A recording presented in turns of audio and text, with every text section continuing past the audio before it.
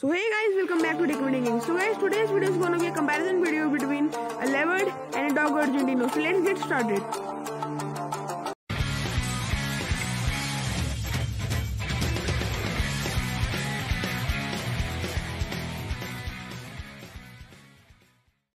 First of all, let's talk about a Dogo Argentino. This dog breed belongs from Argentina. These are great hunting dogs. These dogs are also used for commercial works. This is a large sized dog breed. The dogs of this breed are very powerful. This is an excellent family dog. These dogs are good guard dogs. These dogs have short coat. These dogs cannot live in small apartments. These dogs need daily exercise. This is a very intelligent dog breed. The bite force of this dog breed is 500 psi. The average weight of the dogs of this breed is always between 40 to 45 kilograms. These dogs can easily kill mountain lions. So guys, now as we have talked about the Dogo Argentino, so now let's talk about the leopard. This is a carnivorous animal.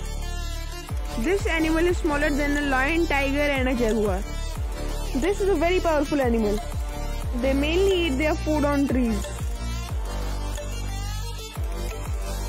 The leopard can run at the top speed of 60 km per hour. A leopard has really powerful jaws. These animals have really powerful paws. These animals can swim easily. These animals are very aggressive. The bite force of this animal is 94 psi. The average weight of this animal is 90 kilograms. So guys, now as we have talked about both of the animals, so now guys, it's the time for the truth. Who would win a fight between a leopard and a Dogo Argentino? So guys, as we have discussed earlier, both of the animals are really powerful. But in my opinion, Dogo Argentino is the winner because practically Dogo Argentino's bite force is much much higher than a leopard and it is also an active dog breed.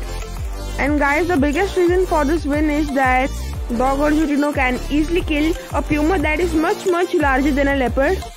So finally guys, Dogo Argentino is the winner for this video. So guys, you can tell me your opinion about the winner of this fight in the comment section. So guys, that's it for today. If you like today's video, so make sure to hit that like button and don't forget to subscribe my channel for more amazing comparison videos.